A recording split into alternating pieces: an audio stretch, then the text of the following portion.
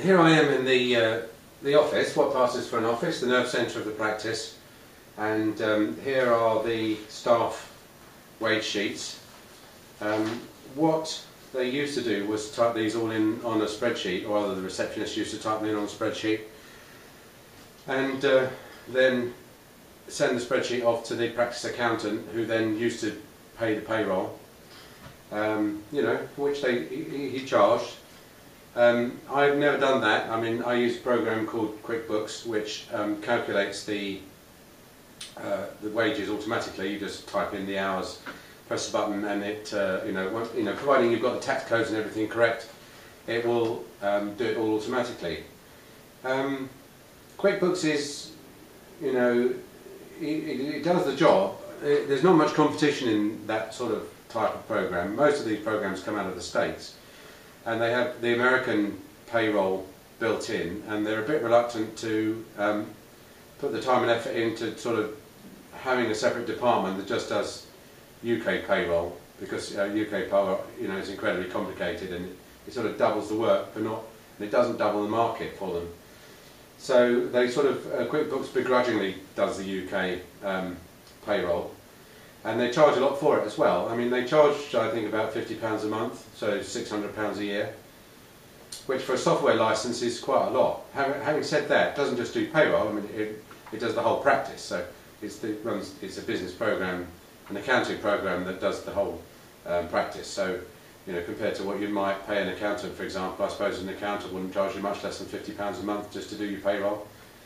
Um, and when you can do it yourself, it's really just your time. Why do it yourself? Well, um, management, monthly management accounts and control of the business, I would say, is much uh, the best reason. Um, if you send, do send your stuff off in a shoebox to the accountant every month, then uh, you're not really going to get much of an idea about how well the practice is doing until the end of the year, possibly not even until after that. Um, and uh, I like to make changes on a monthly basis. You know, I don't, I, in even on a weekly or a daily basis. Uh, I don't like to make changes on an annual basis. I tend to find that you work too hard or you don't work too hard enough and before you realise that you've got it wrong, um, you're a year behind the curve. QuickBooks does an online product um, which I don't recommend. What they've done is they've tried to adopt the sort of the Microsoft Adobe model of software as a service um, by putting all their stuff online and uh, the functionality of the online product is nowhere near the functionality of the, the product that you download, the QuickBooks Pro. We have the, um, I think it's, it might be the lowest, there are four um, levels of functionality. I think we either have the lowest or the second to lowest. Basically, um, it's not multi-user, so uh, you have to, you know, only one person can use it at a time. That's what it boils down to. Funnily enough, it, it is multi-company. So one person could use it to um, keep the books for 20 companies, which would seem to me to be far more valuable than having two people keep the books for one company. But that's what they choose to put the brake on, how many people can use the data file concurrently. Um, and um, I suppose it has some relationship to the size of the business.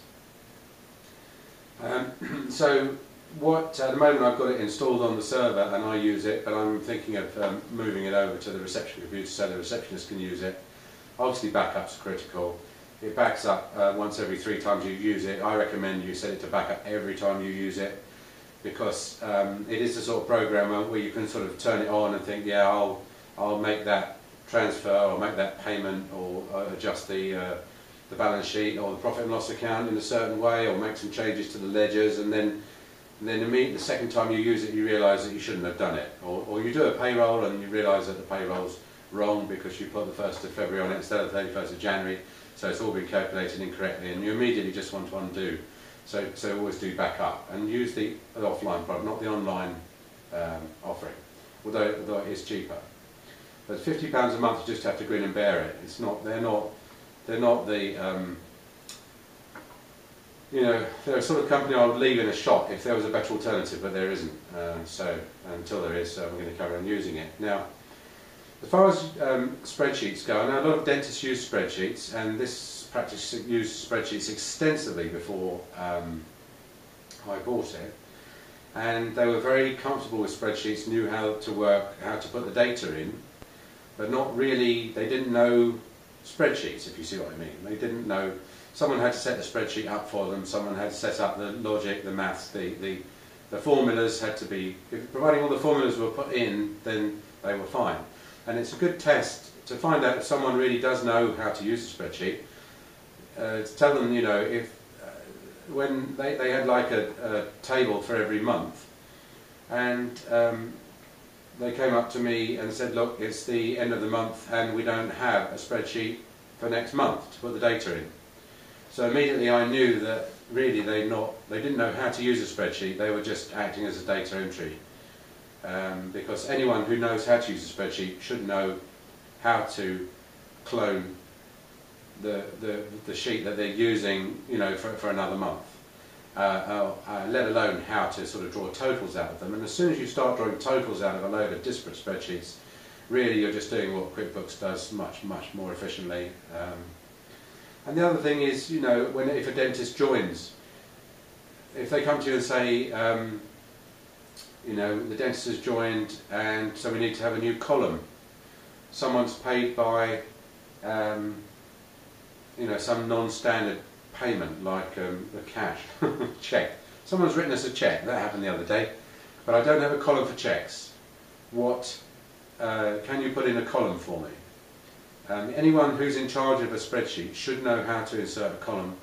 Not just insert a column, but make sure that the maths, the totaling stays consistent across and down, and also know how to check that, you know, to double check, to put in a second box, which uh, with a different arrangement of math that should come to the same total so that you can cross-check that everything's working properly.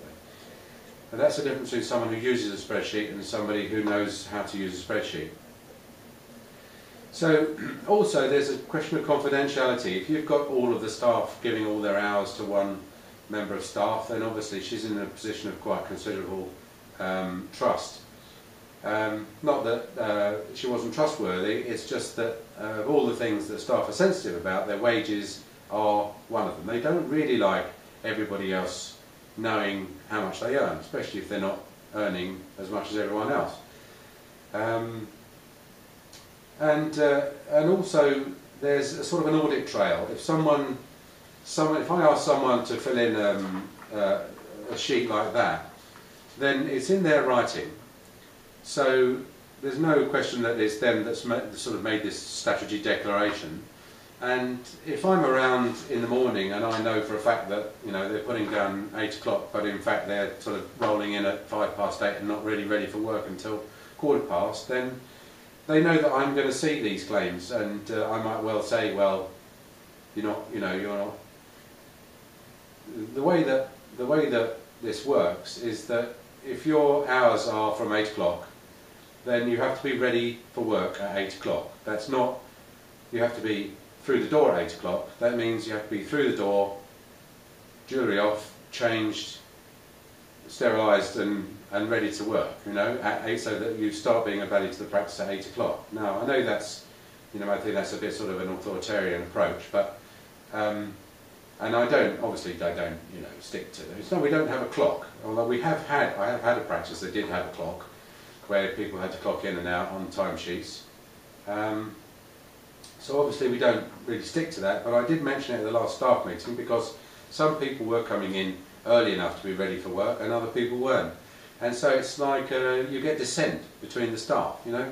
It, it's just a source of friction. Everyone likes to think there's a level playing field and that they are not coming in and ready for 8 o'clock and it's not noticed that someone else is not rolling up until 8 o'clock and not ready for work until quarter past or half past. And, and the first thing that staff do like to do when they come in is have a catch up, don't they? On this well, it's natural, isn't it? They come in, hi, how are you? Did you have a nice weekend? Before you know it, they're talking about whose births, marriages and deaths, etc.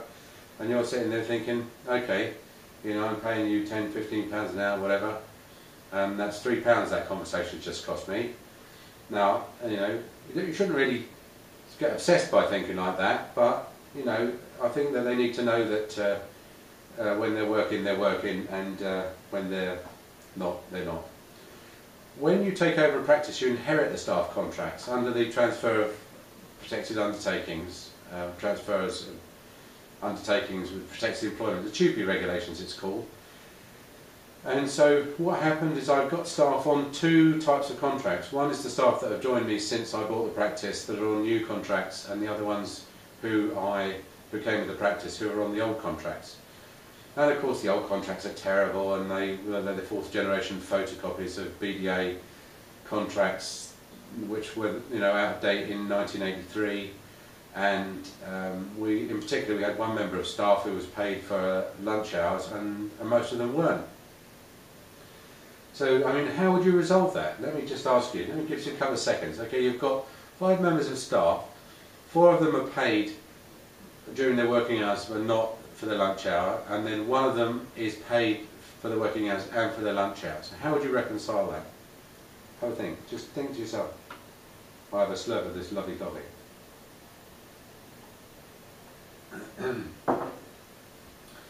what happened? I mean, you have to resolve it by agreement because you can't um, uh, you can't unilaterally. Well, you, you, there are circumstances under which you can unilaterally make changes, even in a TUPE protected employment. But um, that's not really. It sort of goes beyond the scope of this this sort of informal chat. But um, you have to resolve it really amicably by agreement if you don't want a, a morale to drop. And um, the situation with someone who's let's say getting paid the same. Supposing that, uh, for the sake of argument, they're just saying they're getting paid £100 a day. Everyone's getting paid £100 a day, but this woman was getting paid for her lunch hour. So what I did was I pointed out that she was getting paid one extra hour, but as a result her hourly rate was less. So she was getting paid the same as everyone else in, at the end of the month, but um, and she thought she was being quite clever getting paid for the lunch hour, but in fact it meant that her average hourly rate was lower than it, it would have been if she hadn't been paid for the lunch hour. And it's a bit counterintuitive, so, and I had to explain it to her two or three times, which is not a problem, but let's assume that um, one of the members of staff who's not paid for the lunch hour does an extra hour, then they'll get paid, they'll get paid more for that extra hour than the member of staff who is paid for her lunch hour because her hourly rate is less. She's paid for more hours, but her hourly rate is less, so she earns the same. So now when she does her extra hour, she's doing it for less per hour than the other staff are. So when I explained that to her, bearing in mind that uh, obviously um, she was going to get paid the same whether she was paid for her lunch hour or not, whether you know she was paid on that basis or on the same basis as the other staff, let's put it that way, her pay, her take-home pay wouldn't change. What all that would happen is she would um, effectively get an increase in her hourly rate if we ceased to pay her for her lunch hour, plus she would get more for her overtime. So what we've done there, in a way, is sort of mathematically engineered a pay rise for her in return for her agreeing uh, that we, we don't, we shouldn't pay her for her lunch hour. And in actual fact, she was pleased about it because I pointed out that it meant that when she did her overtime, um, she would get the same as everyone else and not less.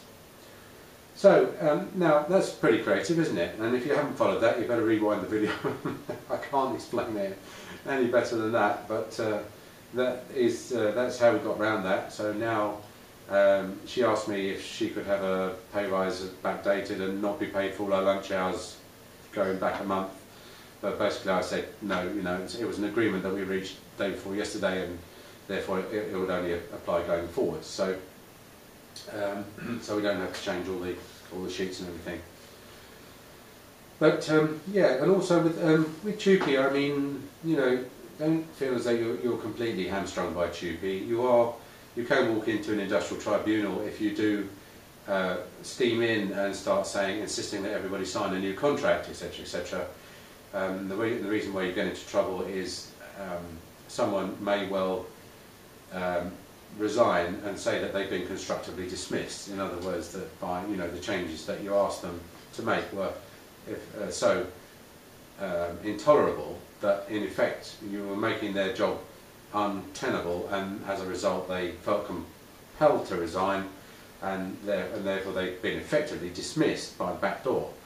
Um, now, I'm not an employment lawyer, not even an employer, but I mean, as a dentist, we need to be aware of all these things. So, um, so that's what you mustn't do. Um, what most employment lawyers will tell you is that you know pretty well after three months you're pretty well bulletproof. You can start you know asking people if they agree to make changes. You still have to make changes. Again, what most people don't realise is that this the employment contract is a contract. It's, you know, you pay them a certain amount of money, they agree to do a certain amount of stuff, and you can't change it unilaterally. Um, there may be clauses in there that say that you can make reasonable changes unilaterally, but, it, but uh, you know you are playing with fire every time you start mucking about with people's terms and conditions. Um, but um, providing what you're doing is reasonable and um, you do it by agreement, then you're unlikely, especially now that it costs money to uh, initialise, uh, to initiate a, an employment tribunal. It used to be free of charge now, I think it's a few hundred quid, which does put it out of the reach of the sort of the um, frivolous and vexatious complainants that uh, used to plague the small businesses like dentists. So, um, yeah, so I'm going to type these in, press the button, and uh, it's going to print out the pay slips. The pay slips go out by email, encrypted, and the uh, pay goes in uh, it'll go in tomorrow. The way we work it, we pay monthly. Um, previous dentist, I think, paid four weekly, so they had 13 pay um, periods in a year. I um, not a big fan of that. I suppose I could make that work. You know, the reason he did it was because he had a spreadsheet, and so his spreadsheets went from Monday to Friday, and he didn't like it when the month didn't start on a Monday and it didn't finish on a Friday, so he basically split he split the practice into 13 uh, four weekly instalments uh, because he could only really comfortably handle a four weekly spreadsheet. uh, but that's fine. I mean, you can you can pay your staff every 28 days, and to a certain extent, it does make comparisons easier. You know, period. You know, you can compare any four-week period with any other four-week period.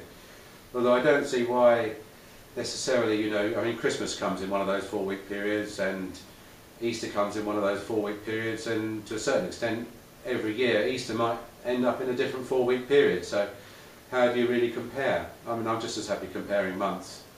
Um, you know, Christmas is always in December, so I can always compare this December with last December, etc., etc.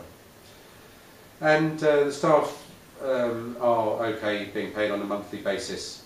Um, again, you have to make it clear that um, the way we work it is that um, we have to have their sheets in by the end of the month, obviously, and then we pay them on uh, the, the, the sort of the, the gate comes down at the end of the month, and then they're then paid on the first working day of the next month.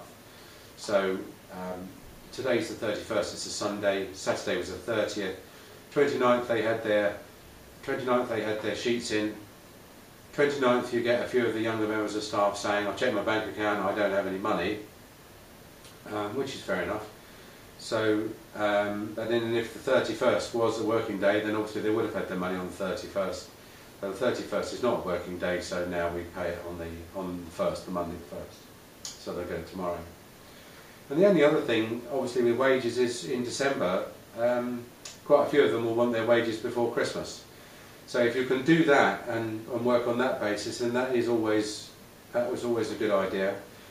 Um, what you do is you do that does become a hostage to fortune because you know, certainly imagine someone who does need their wages um, before the 31st because they want to buy Christmas presents and things with them is not going to be someone who's tremendously wealthy and then having had their wages on for example the 21st or the 22nd of December They've then got to get through to the 31st of January, which is an incredibly long month, um, with no money.